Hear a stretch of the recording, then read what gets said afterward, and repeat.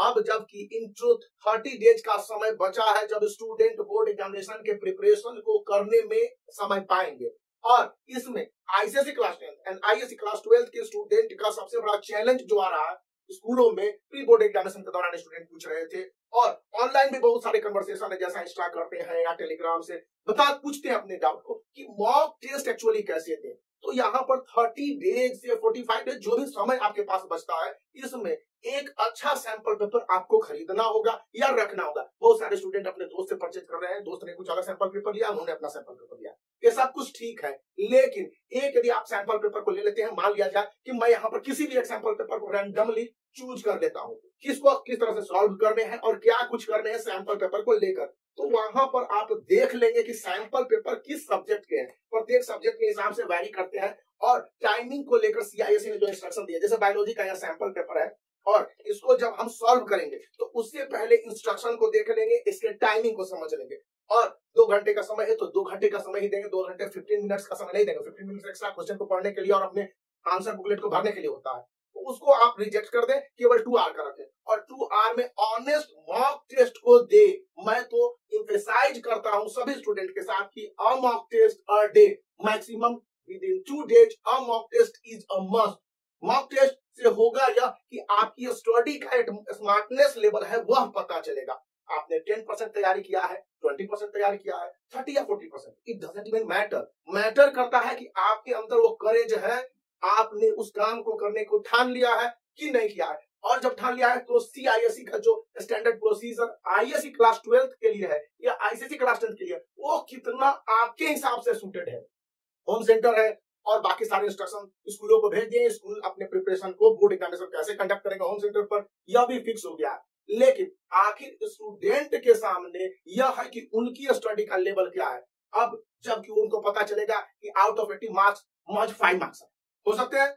आप अपनी कमियों को तो देख सकते हैं, क्योंकि प्रत्येक सैंपल पेपर के आंसर भी यहीं पर दे दिए गए होते हैं। और जब आप आंसर को देख रहे होते हैं तो ये नहीं कि थोड़ा सा आंसर मिल गया तो फुल मार्क्स दे दे। यह बहुत बड़ा कंफ्यूजन है। बहुत सारे स्टूडेंट अपने आप को फुल मार्क्स दे देते हैं और उसके बाद जब पता चलता है कि उनकी उस तरह से मार्क्स बोर्ड एग्जामिनेशन में नहीं मिले तो बहुत तरह की परेशानियाँ खड़ी हो जाती है। मॉक टेस्ट के दौरान आपको ये देखने हैं कि कितना टाइम किस क्वेश्चन को कंज्यूम करना है। आप देखेंगे चाहे बायोलॉजी का क्वेश्चन पेपर हो या फिर हिस्ट्री सिविक्स है ज्योग्राफी है फिजिक्स है, इसमें यह बताता है कि सेक्शन में बटे होंगे question paper section A section B section C English paper one two B section में बटे हुए। तो प्रत्येक सेक्शन में किस क्वेश्चन में आपके टाइम कंजप्शन हो रहे हैं? और वहाँ पर एक स्टॉप वॉच रखे रहेंगे, या मोबाइल ऑन करके वहाँ पर उसके स्टॉप वॉच ऑन करेंगे तो ये पता चलता रहेगा ना कि किस क्वेश्चन के आंसर को लिखने में आपके ज़्यादा समय कंज्यूम हो रहे हैं। और उस हिसाब से टाइम को भी मैनेज कर लेंगे। फिर आपके जो मॉक टेस्ट है, उसके चेकिंग कैसे करें? एक तो सेल्फ चेकिंग का है। सेकंड है, कहीं पर आप कोचिंग पढ़ रहे हैं ट्यूशन पढ़ रहे हैं ऑनलाइन ऑफलाइन तो वहाँ पर ट्यूटर से एडवाइजर से बात कीजिए कि, सर, मेरे मॉक टेस्ट के क्वेश्चन पेपर को चेक कर दिए बस एक बात कहता हूँ कि मॉक टेस्ट के बाद जो जो चैप्टर पर आपके वीकनेस पता चले स्टूडेंट के कुछ चैप्टर वीक होंगे, उस पर फोकस करने हैं। जिन चैप्टरों में स्ट्रांगनेस है मतलब कि पकड़ स्टूडेंट की अच्छी है, वहाँ पर स्टूडेंट क्या करेंगे? उन चैप्टरों को और ज़्यादा दुरुस्त करेंगे। क्योंकि the more you will confident in your study material and your preparation the more you get the marks and there is recommendation and prescription as well as thought of the examiner of ICSC and ISC concern तो वहाँ पर एक point बताता है कि student के पास actually क्या कुछ है? फिजिक्स केमिस्ट्री बायो इन सब में आंसर के साथ प्रोसेस लिखा जाता है। मैं बार बार आपको बता रहा हूँ। तो वहाँ पर भी देखने हैं कि स्टूडेंट ने प्रोसेस वाइज कितने स्टेप को फॉलो किए हैं। लॉजिक कहाँ पर है? कंसेप्ट कहाँ पर है? एसर्शन एंड रीजन का क्वेश्चन यहाँ पर नहीं आएगा। आईसीएससी एंड आईसी के स्टूडेंट को सीबीएसई में है। लेकिन कॉम्पिटेंसी बेस्ड क्वेश्चन को सीआईएससी ने भी लागू कर दिया हुआ है। और सीआईएससी बहुत हद तक एनसीआरटी के पैटर्न पर चल रही है। तो क्लास ट्वेल्थ आईएससी के स्टूडेंट चाहे आर्ट स्ट्रीम हो साइंस स्ट्रीम हो कॉमर्स स्ट्रीम हो, उनको तो एनसीआरटी बुक के हिसाब से ही क्वेश्चन के आंसर पर फुल मार्क्स मिलेंगे। तो वहाँ पर भी वो देख रहे हैं कि उनके पास जो भी बुक उन्होंने पढ़ रखे हो। आईसीएससी क्लास टेंथ के स्टूडेंट के लिए।